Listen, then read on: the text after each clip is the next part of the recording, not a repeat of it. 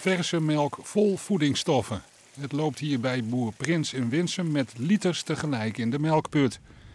In deze tank werd het de afgelopen drie dagen opgevangen. Maar alle moeite is voor niets geweest. Uh, momenteel gaat er 11.000 liter uh, de mestkelder in. Nou ja, dat is jammer vanzelf, maar ja, het is ook overmacht van de vervoerder. En daar doe je ook weinig aan. Friesland Campina heeft het aantal ritten teruggeschroefd om te voorkomen dat er ongelukken gebeuren als deze bij Oldenhoven, waar een tankwagen de sloot in gleed.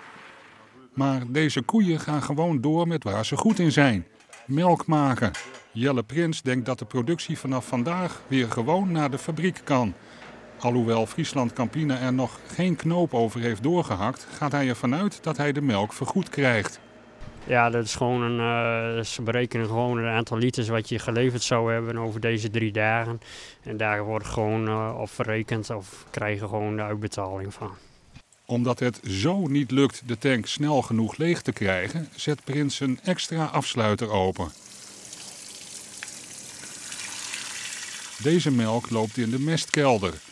Dat is de enige goede plek, waarschuwt het waterschap. Lozen op het riool mag niet. Dat zou de zuiveringsinstallaties te veel belasten. Maar waarschijnlijk weten de meeste boeren dat wel. Uh, dit is puur uh, uit voorzorg. We hebben wel het idee dat, uh, dat, de boeren wel degelijk weten waar ze ermee heen moeten. nou, een gierkelder kan een oplossing zijn. Ik denk een hele goede oplossing. maar dit is eigenlijk even, even uit voorzorg om te waarschuwen dat het een risico is. Boer Prins en zijn collega's hopen dat dit de laatste keer is dat ze de melk op deze manier het bedrijf zien verlaten.